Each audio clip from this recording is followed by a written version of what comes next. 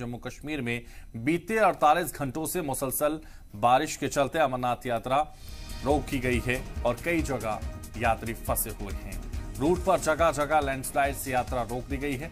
रामबन में 6000 अकीदतमंद फंसे हुए हैं।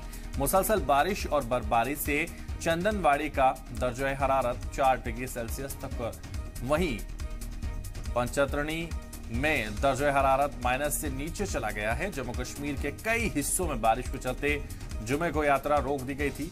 जुमे की सुबह शुरू हुई शदीद बारिश की वजह से तीर्थ यात्रा रोकनी पड़ी और अकीदतमंद को बालटाल और नुनवान बेस कैंप में रोक दिया गया।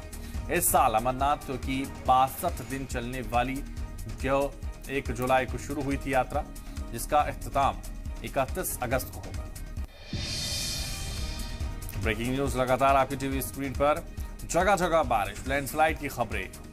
और इसी वजह से यात्रा को रोका गया।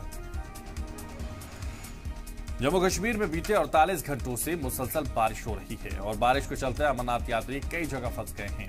रूट पर जगह जगह लैंडस्लाइड से यात्रा प्रभावित हुई है। रामबन में छह हज़ार अकीदतमंद फंसे हुए हैं। मुसलसल बारिश और बर्फबारी से चंदनवाड़ी का दर्ज हरारत। चार डिग्री सेल्सियस तो वहीं